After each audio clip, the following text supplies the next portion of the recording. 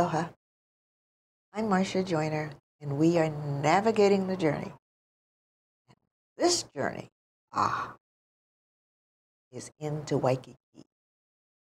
I know we don't usually visit Waikiki, but today I have a very special guest and my new best friend. And you know, I only talk to best friends, so he's my new best friend. and he is the general manager of the Ohana East Waikiki Outrigger Hotel. Now, Outriggers had been in Waikiki for, they were the one of the first hotels to be in Waikiki. So, Mr. Thomas, welcome. Thank you for having me. Thank you fight for finding me in the newspaper and, I and, and calling me. I did. I want you to know I'm still holding on to this newspaper. Thank I, you. I saw your picture. It says going places. And I saw his picture and I said, oh, I want him on the show. So Oh, we've been try, trying to you. make yeah, this yeah, happen. Thank you for having me, and then thank you for working with my schedule. I know I've been pretty busy the last couple of weeks. well, as a general manager of a hotel, that has to be very busy. Very busy, yes. And it says here that you are head of operate all operational aspects of the property, including sales, post engagement, customer service, and financial performance. Yes, I am. Wow. Mr. Thomas was a resort manager at Outrigger Reef, Waikiki, and you were also at the beach, Waikiki Beach Resort, Well, so and the Grand Hyatt Kauai. yeah, prior to Outrigger, yes. uh, but I was at the um, the Outrigger Reef Waikiki. I was the resort manager, which is technically the number two person in the hotel uh, that reports directly to the GM. And from there, I was very fortunate that uh, I was promoted to general manager at the Ohana East Waikiki, uh, and I've been there for about six six months now. Yeah, from the date of this paper. Yes. So now tell me, what kind of an education do you have that you go into this hotel management business? Well, Where does that start? Where do you begin that? I went to school in Florida, uh, Bethune Cookman College. Uh, it's one of the um, historical black colleges in on the mainland, in Daytona Beach, and I studied uh, hotel management. I actually did not know what I wanted to do when I was in school, but in my first two years, I tried nursing. I tried I tried um, IT, communication, and I just never really found it to be exciting and I love working with people, and someone suggested that I should try hotels, and I tried it. I did an internship in Indiana, and I loved it, and then I picked that, that major, and that's it. And then that was it. Sky, sky was the limit after that. A hotel in Indiana? Where? It, it was um, a small town called French Lick Spring Oh, I know Resort, where French Lick. where Larry, Larry Bird is from. Yes. And I was. And my- that's, that's one of the few tourists. Yes, yeah. My, my, my, my professor at the time had a relationship with the general manager at that resort. And every year they bring in a ton of people to help because in the wintertime is very, very slow. But in the summer, that's their peak season. Right. So they bring in, actually, they bring, they work, they have a company that they work with, with in Jamaica. They brought a bunch of Jamaicans in for the summer. And I wa- I just so happened to be available. And my professor called me and said, "Would you like to go to Indiana?" And I said, "Yeah, sure." So I went there. I was there for three three months, and I really enjoyed it. It was a lot of work. It was my first time ever working in a hotel, and the one thing that I love about it, it was always it was about people. and the every get- day it changes. Yeah, every day it changes the guests, and then obviously the uh, the associates. So yeah, it was a great time, and and that's when I decided that I was going to pursue a career in, in hotels. Even prior to that, I still didn't know what I wanted to do. but once I got there and I I, I, I worked and I I actually it was an internship, so I was able to talk to some of the executive leaders of that of that property, and they told me how they grew in the in, in the industry. and I say, do you think I can do the same? And they said, yes, if you are willing to do these things, um, there's, there's a, the, the, the sky is the, is the limit. So that's how I started in the hotel industry. That is great. Now, you mentioned Jamaica, but your accent is. So, so I was born in Haiti. ah. I was born in Haiti. Um, I came here when I was uh, five years old. Oh, so that's, but there's still a little. Accent. A little- a little- yeah. yeah. Okay, so then your name is Thomas and not Tomas. Thomas, yeah, that's my last name. Yeah, Yeah. not Tomas. Not Thomas. Yeah, okay. Yeah. okay, so then you begin this journey. Yeah, so so I, I moved here when I was five. Um, I grew up in Brooklyn, New York, uh, where my parents uh, lived, and from there uh, went to high school and then moved to Florida to go to um, college there at Bethune Cookman College. And I, um, you know, two years into it, I realized that I was going to be a hotel manager, and um, I worked all over the country in, in, in different um, positions in, in hotels. And, and five years ago, I, I was in Kauai. Uh, and two years ago, I joined Outrigger, which is probably one of the best things I've ever I've ever done. It's a great company to work for. And a year a year and six months into my job, um, I was given the opportunity to run the Ohana East Waikiki by Outrigger, which is a great great accomplishment that's something that I've always wanted to do is to become a general manager. It wasn't immediately my my um, my goal, but as I grew in, in the industry, I realized, wow, I'm, I'm, I'm halfway there. I might as well just continue. And, and I think that the day it happened, it was, it was almost like surreal because you work so hard throughout your entire career to get to one position and you get there, you realize now you're responsible for everything. Everything. yes, that's a big job. So you wake up very quickly and you're like, okay, now I got to change my whole mindset because you're responsible for everybody. So it's, a, it's, it's been a great journey. So, how many people do you have in? You have this one hotel, or as a general manager, are there more hotels in your? No, so I have one hotel, Just one Ohana, hotel. Ohana East Waikiki, and I have um, just around 80, 80 people that um, I manage. And how many tourists come regularly? Uh, on average, at, at my hotel? Yeah. Oh, that's a tough question. Um, let's see if I can remember. Well, how many people do you have today? Oh, uh, right now, we, are about, we have about a thousand people in the hotel. Okay. So you have four restaurants, Four restaurant, coffee shop, coffee shop, a bar, a bar, two bars actually. two bars, Yeah. a spa. We have a small spa, yeah. Yeah. And We have a 24 hour fitness, fitness. center. Yes. We have a pool. Pool. So they come there and don't, they don't have to leave the property. They don't have to leave the property, and the beach is only five minutes away. Yes. Yeah. Yeah. Yeah. So now, are there other activities within the hotel? Uh, we have a we have a, a store that um, you can rent uh, bicycles. Um, Mhm. it's a great place. It's um, they just moved in a, a couple months ago. It's called Bikadelic, and we have a partnership with them so the, the guests can go down and, and rent, rent bikes. We also have a trolley that the guests can take um, um, complimentary as, uh, as part of the hotel. And they can go to different places as well. We have a small lounge in the lobby uh, with television. Um, it's, it can be used for any reason. Um, we have guests that sleep, take naps in there. we have guests that wait, wait for the shuttle before they leave the hotel. They sit and wait.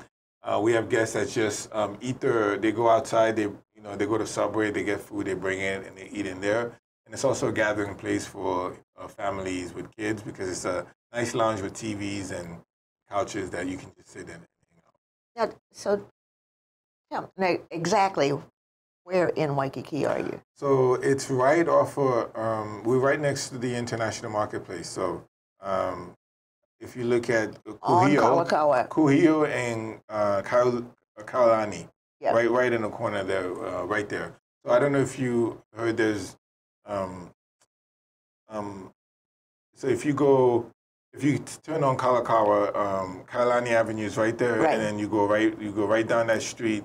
When you get to Kuhio, we're right there, we're Ah. right, right, right in the corner. Yeah. Okay. I know, I, I know where that is. Yeah. Yes. Yeah.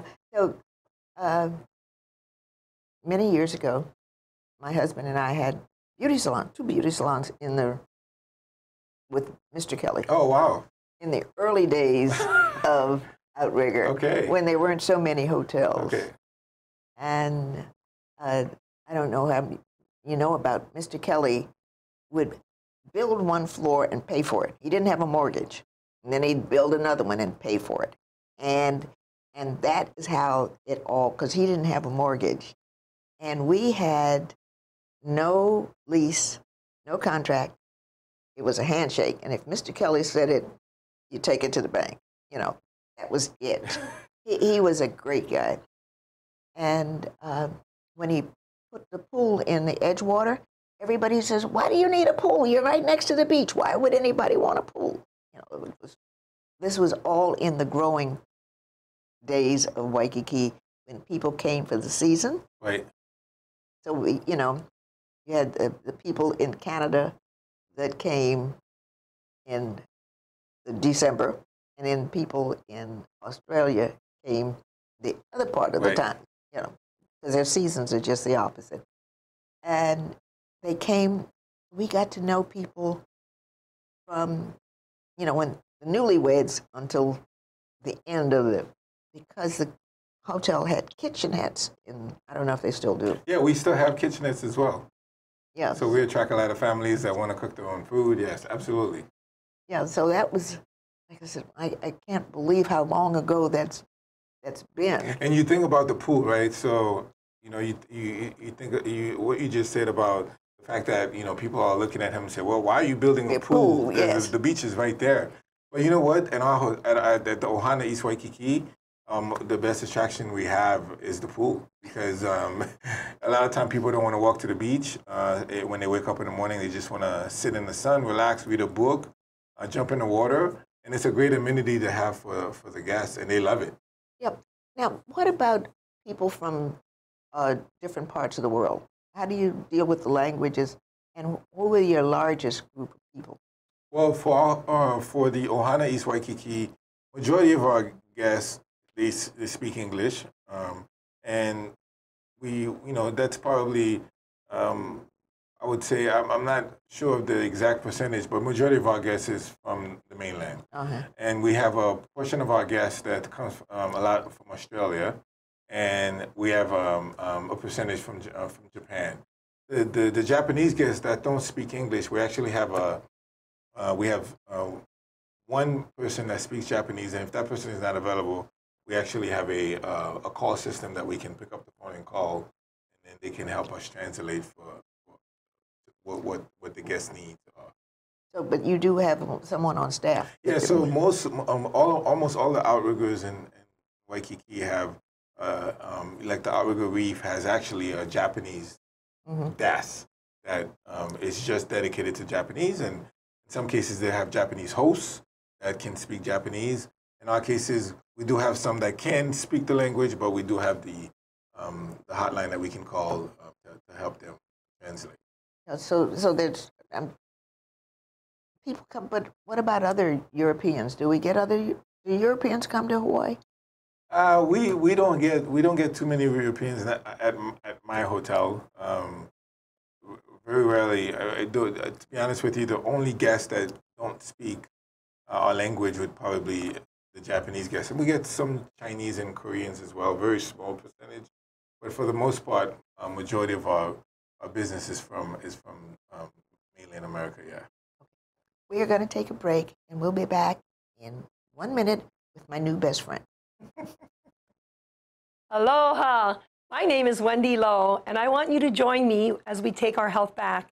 On my show, all we do is talk about things in everyday life, in Hawaii or abroad. I have guests on board that will just talk about different aspects of health in every in every way, whether it's medical health, nutritional health, diabetic health, you name it, we'll talk about it. Even financial health. We'll even have some of the Miss Hawaii's on board and all the different topics that I feel will make your health and your lifestyle a lot better. So come join me. I welcome you to take your health back. Mahalo.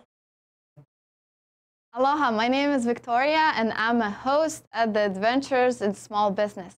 This is a collaboration between U.S. Small Business Administration, Hawaii District Office, and its partners, where we showcase the stories of local entrepreneurs and small businesses talk about how to start a business, talk about great tips for small business owners.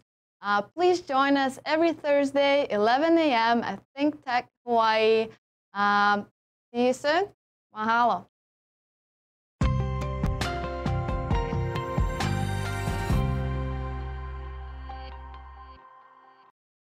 Aloha. I'm Marsha, and we're back. And we are navigating the journey through Waikiki. How's that? okay.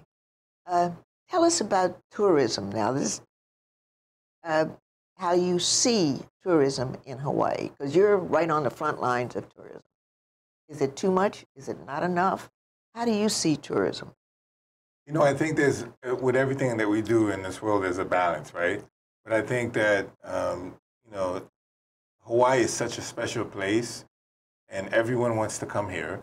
And I think that, um, you know, tourism is the um, number one economic uh, drive into Hawaii um, next to the military. So it's really good for us to have uh, visitors come here.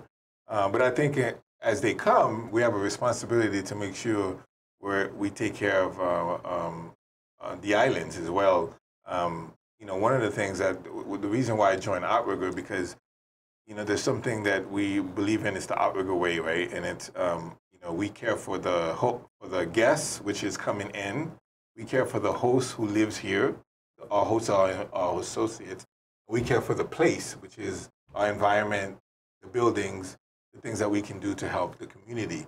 So I think that as we look at the visitors that come into Hawaii, we, we look at it in that way. It's our responsibility at Outrigger to make sure we are, we are taking care of those people that are impacting our business. Um, you know what? You know, you, you, if, you, if you have a lot of visitors, it's, it, it could be good. If you don't have enough, it could be bad. All depends on how you look at business, right? But I think it's important that as the people, as our guests come here to stay in all the different hotels in Waikiki, the number one thing is we need to make sure that they're safe. Uh, we, we need to make sure that everything that we do caters to, to, to them, and we need to um, educate them about the, the, the, culture of Hawaii as well, because I think a lot of people come to Hawaii to, to actually not only enjoy the beauty, but to, to educate themselves on the, have, on the, culture of Hawaii. Do you have special classes that? Um, I don't have uh, specifically at my hotel, but uh, we have two beachfront hotels, Outrigger Waikiki Outrigger Reef, and both of those hotels have a cultural director that does um, classes every day as part of as part of the hotel program. And so that's about the local culture. Yeah. Yes. So we have um, ukulele um, lessons, which is everyone loves that class. Uh, we have lei making. Mm-hmm. Um, we have um, you know um, stories. Sometimes we sit down with kids and tell stories.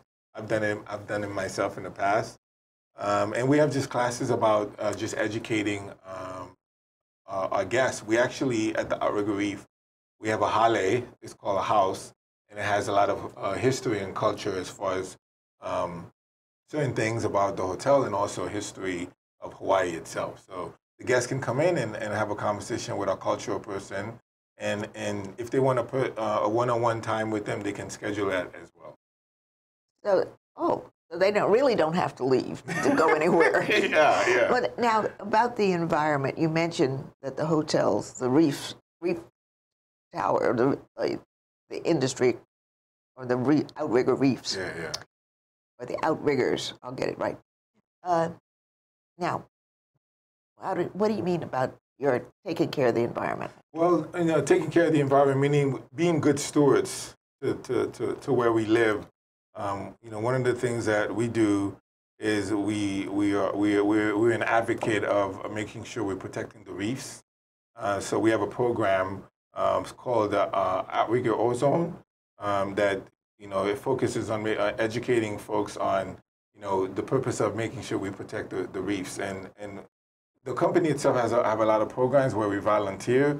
A couple months ago, we all volunteered to go and clean up the beach. So we want to make sure that not only that we work in Waikiki, but we want to make sure that uh, part of our, our, effort in Waikiki is to um, make sure that we, we're a good steward by, by doing some of these things that's going to help the environment. And, and, and the other thing, too, if you look at some of our hotel Uh, we have um, recycling available. We, we offer recycling to guests. We also, um, you know, some of our hotels are moving towards um, adding um, filtration unit water in the, in the public areas so that way people can use their bottles instead of using plastic Right. bottles. So it- there's a lot of things that we're doing to make sure that we're, we're uh, helping with the, with, with the environment. Now, where I know Outrigger is huge, but where else, other than uh, Hawaii, where else are the hotels located? We have, uh, we have, we have, we obviously, most of our hotels are here in, in Waikiki, but we also have hotels in Fiji. We have hotels in Maldives. Um, we have um, hotel, we have a couple hotels. Uh, we actually have two hotels in Fiji. Uh, and then we have one in Maldives. Uh, we have one in Castaway. Where's Uh, that? That's all in the Asia uh, Pacific. Castaway. Yeah, yeah. It's called uh, Outrigger Castaway Resort. Um, so the, the um, uh, most of those hotels, um, you know, obviously, uh, resort-like Yeah. hotels. Those those are destination hotels, and uh, it's a far, you know, it's a far trip to fly there. It is. uh, From here to from here, it's not that too bad. But if you're flying from the mainland, it's a long ways That's a away. long way. But some of our hotels are just spectacular, and it's it's it's it's almost like a um, an oasis when you get there because it's just a small island with with, with you and, and, and nature, and it's it's, it's great. That is fabulous. Did, did you want to work at any of those? Um, if my wife is willing to move, yes. Oh, that, that makes a difference. yeah, That, that yeah. I don't real- mind moving. Moving is, is is in my DNA. Yeah, no, Yeah. that, that, yeah. But I guess to be that isolated, a little time would be fine, but for a long stay would be a little. Well, I lived in Kauai, and Kauai is very isolated, That- but but it's just a, it's such a beautiful island. Sometimes you don't think about being isolated; you just think about, look what I have. And you wake up every morning Yeah, and this and- is paradise. Yeah, paradise. and I have so much to do, right? Yeah. Because a lot of times you live in a place and you think it's beautiful, but you never take advantage of the beauty and some of the activities. You only do it when people visit. Yes, yes. And thank, thank you, God. Yeah, yeah, yes. yeah, yeah. And so, how long were you in White in Kauai? I was in Kauai for four years. And while I was in Kauai, I met my wife, Oh, who was living here at the time. That's why I moved over. And um, I have a um, now a son who's just turned one two weeks ago. oh, great. Yeah. Yeah. So you met your wife here. Yeah. Oh, The journey that I took what is? put, put me in the path of my wife. how, how magic? Yes. Yeah, how magic is Yes. that? Yes. So I have everything to thank to Hawaii. yes. Oh my goodness! You come to paradise and fall in love, Yeah, right? yeah. It's a dream, right? Yeah, that is a dream. That's, that's and, and become GM. yeah. and that's the story. Those, those are the things, the stories. Of, you see that on television. You say that, that that's Yeah, not yeah. real. Yeah. The one thing about hospitality, you can start at the front desk. You can work your way up to where I am today. Actually, our CEO um, started at the front desk, and now he's the CEO of, Outrigger. So the I think the opportunities in the hospitality industry are pretty. Um, um, the the sky is the limit. So if you were looking to um, be part of something great, Outrigger is a great company. There's a ton of uh, uh, industries out there, but you know I think the hospitality industry is just a great place if you want to have an opportunity to either stay in. Uh, if you love Hawaii, you can stay in Hawaii. But if you want to travel the world or you want to live in the mainland, uh, most hotel companies have hotels all over the place, so you can transfer and you can grow your career. It's a, it's a really good good um, professional um, path for people that are looking for a career. Okay. All right. Well, now, speaking of which, if we have young people that are interested in hotel, but like you don't know where to begin or any of this, can they come see you? Yeah. So, and then they can also go on outrigger.com. Uh, we have a career uh, tab. They can click on the career tab, and we have information about jobs that are available on, on our website uh, for not only the hotels that are in Hawaii, but um, all of our positions are posted for the other hotels in Fiji and Maldives as well. Uh, and if they want to, um, if they want to contact someone, they can actually just look online, look at the hotel, and call. and and Well, I meant not just say, here's a job, but to talk to you like we're talking about a career path and what what to expect and all of those kinds of wonderful, just like like we're talking. Absolutely. If somebody wanted to do that. Absolutely, and you know the best way for them to reach out um, is they can they can just Google my hotel Ohana Waikiki East Outrigger, and if they call, they say I want to speak to Chris, the general manager. They they connect them right to me. Yeah, I, Uh, I, I don't really screen any calls. I like to talk to anybody, um, and I do get students sometimes that call. Um, you know, they want help with a project, and I love doing that. So yes, they can do that easily. well, now, there, all the schools here have, uh, all the community colleges have tourism and what have you as part of the curriculum. Do you partner with any of those? Yeah, so we, we actually Outrigger partner with um, high schools actually, and Oh. we, we we bring some of the we we partner with high school and colleges, but um, we bring the kids over to the to, to the to, the, to our hotel. So typically, um, we'll we interview the the students as if they're applying for a position, Mhm. and then based on the interview, we we, we pick out of the pack, and we we we get the names of the students, and the hotels pick who they want to intern at the hotel, and then part of their internship, they have to go through the entire hotel and learn um, each department. Wow. Yeah. That's great. Yeah, As a- an intern. Yeah. High school, you said. High school, yeah, high school and college. Yes. And are there any restrictions on what who can and cannot?